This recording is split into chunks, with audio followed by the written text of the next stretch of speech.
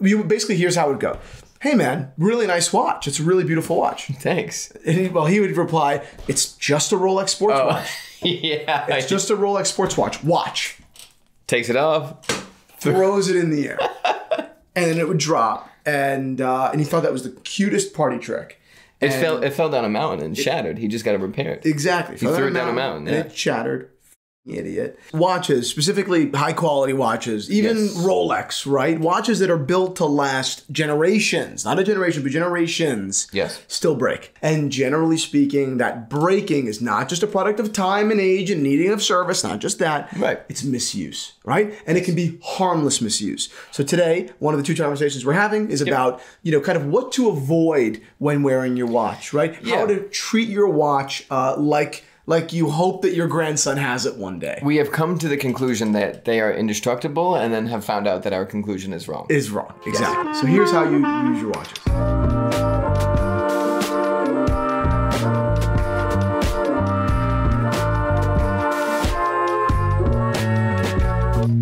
What is up, Watch Fam? I am Christian, the curator of the Theo and Harris Vintage Watch Shop. My name is Michael, and this video is sponsored by ZBiotics. Ah, our friends over at Zbiotics. More on them later. So today we're talking about the new Porsche chronograph. No, I wasn't trying to hang my chain. I didn't even notice it fell out of under my collar. One, which comes with a $13,000 price tag that's a little bit high for my liking. Sure. And even more than that, you have to spend about 290000 to get one. To spend Or vice versa. Yeah, exactly. Uh, we're also talking about another swatch briefly that just came out that's really, really interesting and techy. It's the what if. It's the Bizarro Jerry episode. Exactly. And then finally, we're talking about kind of best practices in watch wearing and how to be attentive while still really wearing your watch in and not being super afraid, but being aware they're not totally invincible, even Rolex. we have seen flagrant misuse. Yes. And we have seen people that are trying to preserve their watch at all costs. And Yes. both of those people have broken their watches. Agreed. Let's do it. Porsche. Porsche. It's Porsche. is. It's not Porsche. It's Porsche, design. Yes, it's Porsche design. Okay. Porsche design, I, I think, is truly one of the greatest examples uh, at its height Yes. of, and even now Mm-hmm, at the moment, of cross contamination in industry, right? In luxury industry. yes. I don't know of a better example, actually. Porsche makes some of the greatest cars in the world, right? Yes, Butzi Porsche uh, invented, introduced the 911 in 1964. And then 1963, 63. according to this. But then the Chronograph 1 was released in 72, but they didn't hit the market until 73. oh, that's, actually true. I know. It's just. Yeah, yeah, with that's actually true. And I just don't know of another example of a company that produced one of the greatest cars of all time, and the greatest watches of all time, or anything like it, right? Right. Produced one of the greatest couches of all time, let's say like Eames or chairs, and then anything else, right? Like meaning uh, Yeah. outside of the industry, outside of interior design, right? to get that level of respect on a cross design venture Yes. is uh, you don't expect people to be wearing a Porsche design watch with a lot of pride because you expect it to be like I'm wearing Gucci loafers and I have Gucci cologne. Right. Everybody's like uh, the Right. cheaper mall brand Gucci cologne. Right. It's like okay, well those are two very different products. Exactly, right. Usually brands aren't able to capture both and do them both really well. But the Chronograph 1, which you can still get for, you know, uh, those models, you, depending on condition, five to $10,000, you can get a really great vintage Porsche Chronograph watch. Hmm. PVD, beautiful. Um, and which I think is a great value watch and they're some of the greatest, you know, watches out there. Yeah. But it's not a, you know, gift store watch. Exactly, Right? Exactly. The Porsche family did not just stamp their name on a watch to sell, you know, watches. They literally designed it from the ground up which is fantastic. which is fantastic. Yeah. Okay, so now you can take over from Yes. here. Let me read this to you, and then we'll get into the interesting point that got realized later in. But announced in conjunction with a very exciting new Porsche 911 S/T, Porsche Design has created a brand new spin on their iconic Chronograph 1 by way of a limited edition model that pays tribute to the new and also limited S/T and the and the 911 60th birthday. But here's the thing: if you want the watch, you need to get the car too. Both the 911 S/T, the car, and the watches are limited to just 1,963 units, and the watch is only being offered to those who will be owners of the new 992-Gen 911 S/T. I think it's awesome. Car is $290,000. Right. Yes. And- watch is 13,500. And some people are saying, well, this is bullshit. Why can't I just buy the watch? I have to buy a car to get a watch, right? It, That's ridiculous. They're looking at- $290,000. it's ridiculous. No, you're wrong. Okay, this watch, yes, it does come with a price tag. They could have just done, you know, they could have just you know Yeah. sold it for more money. They, right. they could have just included it with the car, right? Right. Um, now they're shaking it down for an extra thirteen grand, and who's not going to buy the watch, right? And it's a little bit expensive for that watch, but Yes. I think it's a first of all, it's a beautiful execution of the chronograph one. I love the Oh my configuration. gosh, wrist looks fantastic. It looks fantastic. Yeah. Uh, and why water it down? Why why why Hmm. sell why sell the watch, the very special limited edition watch, to people who don't own the car? to a guy that's buying this car, I'm not assuming anything about this guy, but it would be like he pulls up in the car and I'm like, oh look, look, I look, have look, the I have the watch." watch. He's like, okay, Golf. where's the car? Right. I'm like, I can't afford the car. And Exactly. then I get in the passenger seat. And I'm sure that some of these watches will make their way out of the secondary market. There isn't a doubt course, about it. course, Someone yeah. will flip it and or get rid of it or what. I don't know where they're going to trade. They could trade at ten thousand. They could trade at fifteen thousand. I really have no idea. Um, but I think that everyone that is that is upset that you need to buy the watch or buy the car is wrong.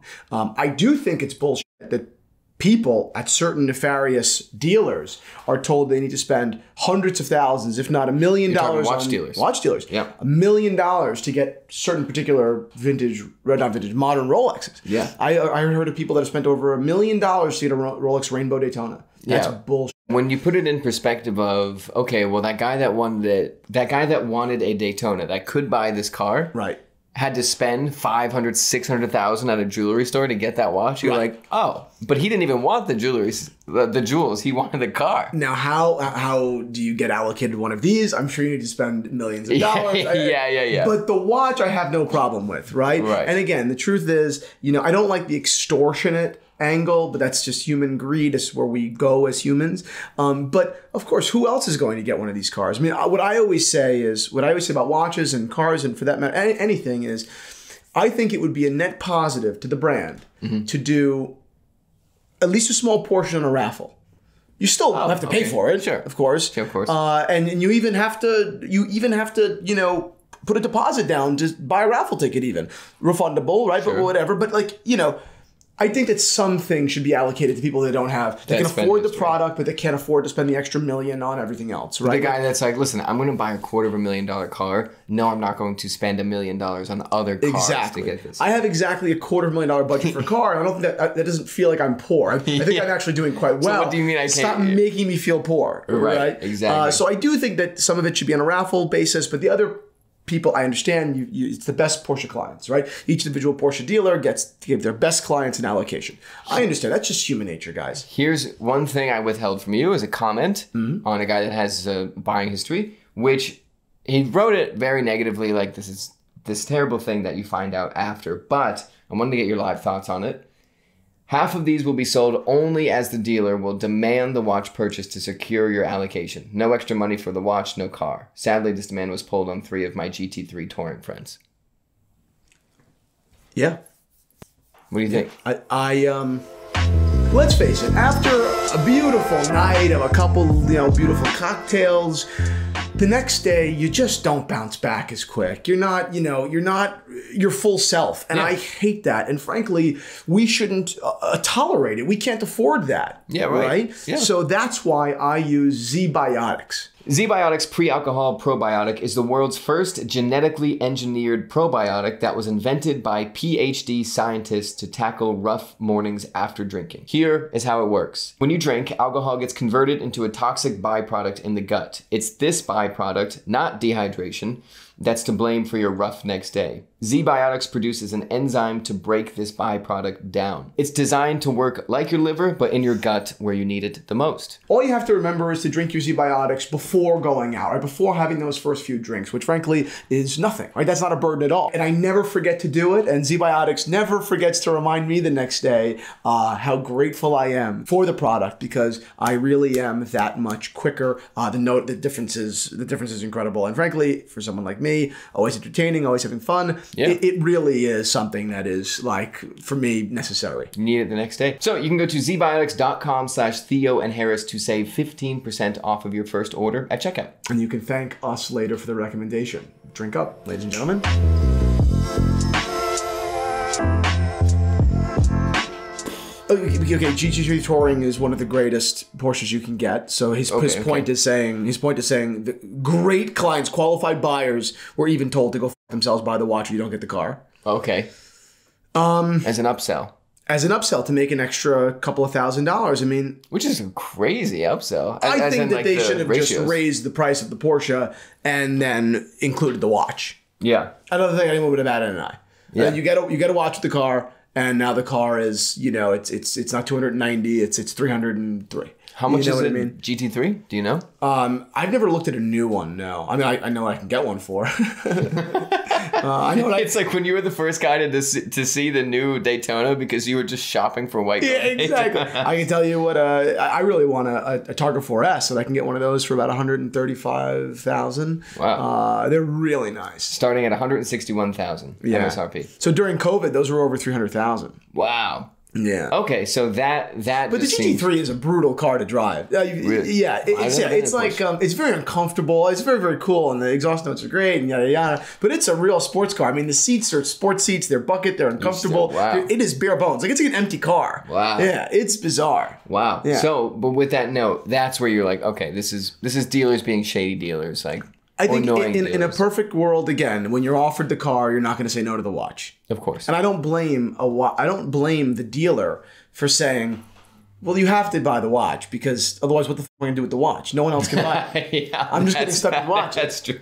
If I- if I- didn't think of that. It's You, very you funny. know, yeah. A Porsche dealer is sitting on 1,963 watches. Is What that? what am I going going to do with this? You know. So I understand. That's Listen, comical. You got to buy the watch. And frankly, guys, uh, you know, I'm sorry. I just don't feel. I don't feel bad for you. Uh, I think Porsche should have included the watch and just raised the you know MSRP. Uh, but um, I don't know. I, I, as the dealer, I wouldn't. I would look at the as a dealer. I would look at the client that's saying, "No, I'm good on the watch," and I'd say, "Buy the." F- Yeah, yeah. Well, What when you I- put it like that, it's, it's very funny. Oh, also, also, you, you hard for cash? Oh, you can't do I'll, it. I'll roll it into the fucking note. Exactly. Okay, get out of here. Buy the watch. No yeah, question. amendment two is 290,000. Two- uh, 290 uh, 290 to uh, 303, right? Yeah, yeah, yeah. So, uh, but that's what I would do. That's- but then the question is, you know, I, I know a couple of guys that have been that have been buying, you know, Porsches, you know, uh, in the last couple of years, and you know, the dealers are are doing dealer adjustments as well, so they're hitting you with another seven percent. Eight percent, ten percent on top. So two hundred ninety is an extra 200 $29,000 in dealer adjustment, and that's before tax and title. And dealer tax adjustment is is what just- seven percent. It depends you on where you are, right? Yeah, right. That's a lot. Listen, this is not a cheap hobby. it's not a cheap hobby. People always think Porsche like like the car hobby is like accessible. It's I know. not. I, I won't get. I won't get it. No, you didn't ask. Never mind. no, no, I'll ask asking. Okay, fine. No, um, I just refuse to have another car. Right? Well, Like, no. you- What I always say to you is, you need an actual car. No, no, no, no, Not no, a giant expensive Jeep that's hard to drive, I and not an old car that's also hard to drive. I know. You behind the wheel of a nice Honda, you'd be like, "This Well, is no, no. I wouldn't get a Honda, but I, I would. I would get like a. I would get like a really decked out, uh, like Grand Cherokee. But it's, no, Jeep no, Grand it's Cherokee. like that's closer, but just a reliable car. That No, they're reliable. drives. They're reliable. Jeeps, really? Jeeps are reliable. I think that they're Really? Jeep Grand Cherokee. I believe is a reliable Okay, car. I've never owned one. I I believe they're, from my knowledge, they're reliable. Uh, and then the nice, the overlands or whatever, the summits, you know, all the really the beautiful interiors, they're nice. I mean, they still Okay, drive okay. a little bit, you know, like Jeeps, uh, you know, which is a little bit, I mean, less mechanical, it's Yeah, a little yeah, bit yeah. more I know what you mean. computer kind of, which isn't my jam. Um, but I think I'm going to get a more reliable car now. I think I'm going to just get a, uh, an, an X5M, just the, uh, Okay. the BMW. yeah, because the G Wagon is killing me, man. It's just fucking Really? You know, it's just so heavy to drive. Every Uh-huh. it's like every time I get in the car, I'm like, you know, really- it's like turning. Like It the- really is. It's exhausting me. It's it's like driving the Hulk It's because like it has the power, it has the speed, but you're like, wow, this is really. Yes. Anyways, if you like conversations like that, check out Christian's Patreon. Exactly. Check out the Zero. Absolutely. We release one podcast per week every Tuesday, perfect for your commute, a little over an hour. Once a month, we do one with Michael, and the rest of the month, whether it's a liquor one with Rolly or we're doing, you know, we're interviewing an industry, you know, legend like John Buckley or Carl Cohen, really diving into the nuts and bolts of the vintage watch and modern watch market for that matter. Uh, sign up uh, for some fantastic industry insight. Yeah. Uh, it is not free, but we give out so much in credits to the Theo and Harris shop that it is free. You're getting free straps and your money's worth. So Exactly. uh, sign up. I hope to see you over there. And if you do sign up, shoot me a DM and we'll uh, have a little chat. Yeah. Um, but all right, back into the next conversation. I DM'd you this watch. Obviously, it's not a secret watch, but they just knocked it out of the park. Obviously, Swatch knocked it out of the park with the Moon Swatch, and then what's next? The What If, which is when Yeah. Swatch was first designing the watch. The big question was: Is it circular? Is it square? This is what if instead of circular, it was was, square. square. Yeah. and I think they just knocked it out of the park. They did a great job. It's super cool. It, it, it seems much more techy than the uh, Yes. than the, the, the natural swatch. Um, but I love swatch. I just brought I just bought a beautiful pink swatch. Here's a photo. Um, I'm such a fan. I think these watches are super cool. A little too techy for me. Yep. Um, but they're awesome. This is like an architect. There's like a barista. This is Totally. that's the style I see. Totally, The one thing I didn't know about swatches, is- I've never had a swatch. I had Timex. Always Uh-huh. was Timex. How loud they are. they're so loud. Yeah, It's unbearable. it's unbelievable. Um, I I can't believe they haven't been able to fix that. I know. What if you just charged me a lot more money and made it quiet? They're like that would defeat the whole purpose. You're sir. like, no, I'm not saying like a ton of money. Five thousand dollars. Will that fix Right, the problem? right. I understand this watch is seventy dollars. What if I gave you two hundred and seventy for it? But Would it's it be quiet. quieter.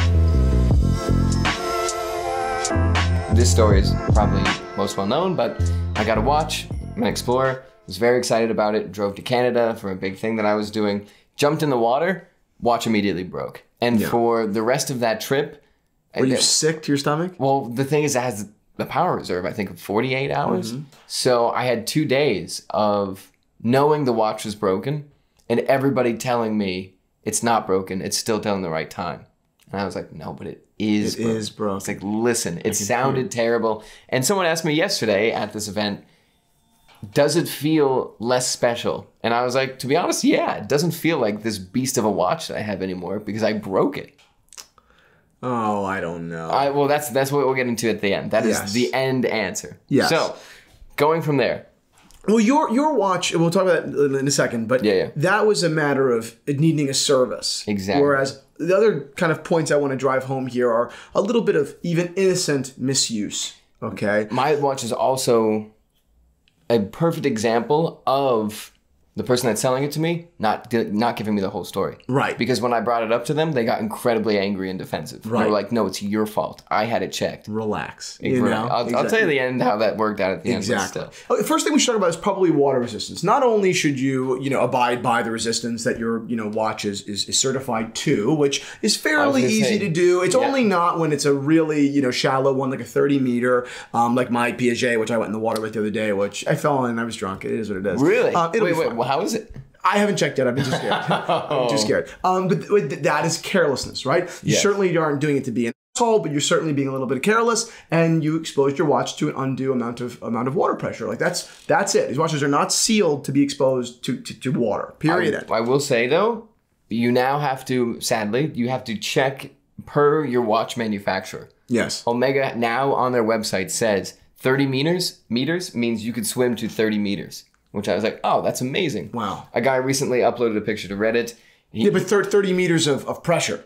they say no, no, that's how far you can go. This has always confused me. Well, that's the th- that's the problem with taking care of your watch is like it's confusing because we're trying to standardize it and the watch world is not. Right. So Omega's like, no, no, no, your 30 meter watch, go to 30 meters, you will be fine. But then other brands are like, But who goes further than 30 meters? Yeah, I 30 don't know. meters is far, That's right? deep down, it's That's dark. deep. A meter is what? It's a yard. it's a little more than a yard. Yeah. Okay, 30 yards down. I mean, are you kidding? 90 feet? Yeah, right. I mean, that's who even knows what's down there? How many inches is that? God. I say it, you're like, well, how many centimeters would that be? But to kind of add to that point, two stories that I really like or that I saw online that seem true. One is a guy forgot that he was wearing his speedy when he went diving, posted it on Reddit, Bad a news picture. bears. Uh, what? Bad news bears. No, good news. It was fine? Yeah, he posted a picture of the watch while he was diving. Wow. And people were like, "That is the coolest picture I've ever seen." That is very cool. Speedy. It's certainly not something that I would do. I would have done, but that's that's interesting. I'm still terrified. That being said, there are other chronographs like the Daytona or other screw down chronographs. Um, people I've seen it have forgotten to screw their chrono- chronographs down, you know, properly. Same thing with their crowns. Right? When you have a screw down crown or a screw down pusher, you have to remember to keep those screwed down. People, but it's the whole point of uh, it was invented by Rolex, so you don't have to remember, and people still forget. And you still forget exactly. Uh, people are timing with their pushers, or or I've seen it honestly more with women than I have with men, uh, where they'll set the time and then, then not properly secure the crown back in on Rolexes. I've seen it a thousand times, Yep. and I'm like, God forbid you expose that to water. I mean, that's good. The water's going to rush right in. I mean, there's there's a crown gasket. There's nothing really there. That's what I was gonna gonna say, because then other people are gonna be like, "Well, there is a crown gasket," and it's like, okay, but listen, Yeah. there's there you are basically saying I want to use the last line of Yeah, possible defense exactly. instead of this robust No, system. no good at all. So water resistance is a big one. Another one uh, is an anecdote that I have about about you know spring like spring bars and pins. Um, yes, modern Rolex spring bars and pins are very strong, um, but particularly in the non-modern world, right? Like moving a little bit, you know, moving 10 years back, people are still wearing Rolexes and other models from a little further back. We have to be careful with the amount of pressure or or the, you know, or, or even worse, when people are doing spring bar replacements with strap changes, you know, those cheap spring bars, those little thin thin ones that you get are not good. You need the thicker spring bars. Pay a little bit more money. It's they're not Yeah. expensive. Um, and and buy spring bars that are more or you know, that are that are stronger, less you know, more more indestructible, you Yeah, know. yeah, yeah. Um, it is a shame, and I always get nervous when when people go fishing. When you see like someone with an older watch on a boat, I'm like, if that spring bar pops, eh, which could happen. There's a lot of You're pressure done. on fishing boats, right? Yeah, like yeah, yeah. everyone's knocking around and it's everywhere. You know, that watch is gone. Oh yeah, it's yeah. over. Good little anecdote. We know someone that was at an event, and you know he was being an, ass- being an asshole. Yeah. But uh, you know, oh Rolex, oh GMT, They're made to be abused. it's a tool. You basically here's how it would go. Hey man, really nice watch. It's a really beautiful watch. Thanks. And he, well, he would reply, "It's just a Rolex sports Oh. watch. yeah, It's just a Rolex sports watch. Watch." takes it off. Throws it in the air, and then it would drop. And uh, and he thought that was the cutest party trick. It fell. It fell down a mountain and shattered. He just got to repair it. Exactly. He threw it down a mountain, and yeah. it shattered. Idiot. And when we were there, this is on a basically a soft wood deck or hardwood deck. This is also a, an event. There's some big players It's an event, and the watch bracelet immediately falls apart. Not even it like explodes. It off. explodes, right? In like two separate places, the watch bracelet just finally You have to find the spring bar. You have to find a ridiculous. piece. Oh, So so I guess the, what's the takeaway there? One, don't be an asshole. Don't throw your watch in the sky. That's ridiculous. Okay. Um, but B, um, these little pins and these little you know bars, they're strong, but you know also be attentive. Yeah, right. You know I've Right. seen it even on my Rolex GMT, right, which is not stainless steel. You know the this the, the, the, the, the screw has come out a little bit. Well, if I neglect that, if I'm paying no attention, that screw's coming out a little bit every day for a month. Yeah. And then at one point, I go to do something, you tell me, oh, grab that. That, that, that could 100% just slip off my wrist. the point of failure that people think is usually the movement, and it's like, well, okay, sure, but also keep in mind that now these brands that are hundred, a hundred, or hundreds of years old have really focused on the movement. Mm-hmm. But the bracelet is really still just screws. It's just screws, right? And, and yes, they're they're they're strong and they're built to last. There's no question about it. But a little bit of care and attention is not going to hurt the watch. That's for sure. We were at, and this is leather strap too. We were at a watch shoot. It's a pretty big shoot. I always have eyes on me while we're mm-hmm. filming. I am holding a watch that is upwards of twenty dollars mm-hmm. with the brand reps who obviously don't want to tell their boss that the guys filming broke the watch. Mm-hmm. I pull it out. I look at it. Immediately, the leather tears off of the watch. And the top part, the top strap stayed on, but I almost essentially just threw the watch on the ground. This does happen, right? I'll, I'll explain to you how the leather tears off of the watch. Okay, so it depends on the watch construction. Okay, but usually there's an upper, right, and and uh, and a, a lining. Okay, that lining is less pretty. Sometimes it depends. I mean, I don't know. I don't know what it's always made out of. It just depends on the strap, right? sure. But what sometimes happens is when they're punching that hole or when they're when they're uh, you know, inserting the spring bar. Sometimes I've seen it the the spring bar will actually go in between the lining and the actual like upper Sure. right Yep. and the upper when it's suede specifically or even if it's leather and it's been around for a while can will not can will tear with time 100%. 100%. And I've seen this a lot. And and I've seen it because, you know, uh, uh, you know, people are always buying watches or buying straps, especially in like the vintage and pre-owned world, and always looking to play around and get something new and get something different. And that's all well and good. And God, we sell a ton of straps every month in the Theo and Harris Leather Strap Shop, and that's that's great. Yeah. But we have taken such measures, such preventative measures to make sure everything is safe, right? Mm-hmm. Yeah. Uh, not just beautiful, not just everlasting, but safe. Yeah. Okay, our straps come with quick release spring bars. That's just a start, right? Yeah. That, that that that bar, not only touch it, it is made of like it's unbelievably sturdy. It's crazy. Yeah. Um, but it's not going anywhere. It's literally embedded into the strap. Right, Because right. you know a strap is one thing, and no one should buy one. But it's not that end of the end of the world. You waste a hundred bucks, you move on. But if your strap actually rips or tears, you will you can very well not only shatter your crystal, but maul your case. It's a fucking disaster. Yeah. You know. So water resistance, general attentiveness when it comes to screws.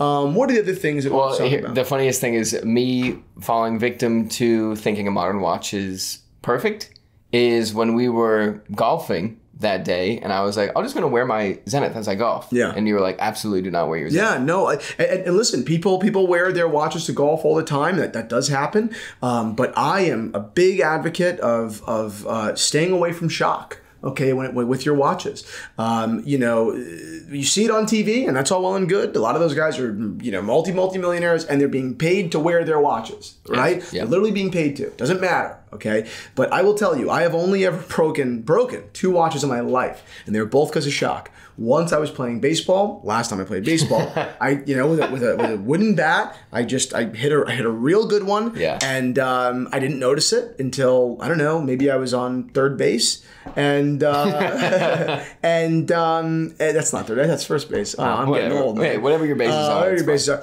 And uh, and I was like, holy shit, that was shock, hundred percent. Yeah. And the second time, God, actually the second time was the first time, but I was. Sounds funny, but I was chopping a tree, and uh, yeah, and I was chopping a tree, and it was a little bit late in the season. Not that I should have ever been doing it to begin with, with a watch on, but it was a little bit late in the season, so the tree had frozen a little bit, and it was it was a bitch, and uh, and I and I broke my watch. Period. And I broke the watch, and I had to get a full service. It was a huge pain in the ass. It? Was I don't remember exactly. It may have been a Hamilton. I, I, for Oh, okay, some sure. reason it was a Hamilton in my mind, and, uh, and I broke it. You know, and I had to get it fixed and service It was a disaster. So shock is a big one. Magnetism is another big one, right? Google all the causes now, of magnetism. even now. I get it. You know, you you uh, it's hard to avoid it, right? Going through airports, going into gr- grabbing a tub of ice cream in your freezer has magnetism, right? Really? Uh, microwaves, yes, all these things have magnetism. So it's hard to avoid. That one I'll give you a little bit of a pass on, obviously. Yeah, Uh, and it's not depending on just, the watch, you know, it's becoming- MRI machines, you know, but Right. yeah. It's becoming hopefully less of a problem, but there's still a lot of watch brands, and even you get a watch that's not spanking brand new, where they're not that resistant to magnets yet. Exactly. Um, but the, the, the point here is, you know, I'm not saying baby your watch. God knows. I really, I don't feel that way at all. I just noticed I have a little scratch on this watch just before, and I said, no, that's my first scratch on this watch. I have one in the same spot, I think. That happens, Yeah. right? Um, unless you swap mine now. uh, that happens. Um, these watches are made to be worn, and they're made to be, you know, they're made to show signs of wear, right? right. But let's be responsible owners. Let's be aware of the fact that even the most indestructible watches, right? Rolexes, the Oyster Perpetual, the Explorer, right? The watch that went to the summit of Mount Everest, they break. Okay, Michael's broke. Mine broke yesterday. Talking, a guy's dial twisted and fell off his Yeah. his watch. I don't want to just start blasting brands, but people's glass has fallen off their watch. It's a mix of at this price, watches are handmade. People make mistakes sometimes, so you have to make sure that your watch comes together correctly. Yeah. But it's also a mix of like watches since they're on our person and they're marketed specifically to be these super tough machines. You forget that they are also machines. Like Yep. G wagon, perfect example. Yep. It's like yes, you could drive that and off road it, Yep. and you could be fine. But that doesn't mean you should just close your eyes and just fly down Ex- off exactly. You have to inspect your watch and make sure it's all right. Ab- absolutely. You know, one of the beautiful things about watches is even when you do break them, they're still relatively affordable to fix, which is good to keep in mind as well. You know, Right, yeah. at the end of the day, you know, everything is repairable and and it's all going to be okay. Uh, cars are a disaster, but uh, but the point is just be a little bit more careful, guys. Right? Be a little bit more attentive. Be aware of the dangers and uh, and wear your watches. Wear them well. You Yeah, know? we and, did uh, a. and speaking of you following the pool with your Piaget, we did a shoot last time where a guy was wearing a watch and fell in the pool and I was like, oh no. And thankfully the watch is water resistant, was 30 meters, Mm-hmm. but he fell in the pool swimming. I ran over to him and was like, yo, watch, watch, watch, watch, give me the watch as he's like blowing bubbles underwater. And he just pulled it off and handed it to me. I let it dry and fine. Fine. So It's it's not that they're incredibly delicate, Right. but if you have a 30 meter watch and it, the brand is not saying, hey, 30 meters means 30 Right. meters, don't wear it in the pool. Right. Switch what you watch before you're going to get drunk and dive, dive in the pool. Agreed. Well, that was a good episode. Michael, thank you so much. Uh, if you like watch content, subscribe to our channel for more. Uh, and if you want more than that, uh, sign up to our podcast, The Zero Weekly Podcast. And uh, if you do sign up, shoot me a DM over there so we can have a little chat. That's it. Boom.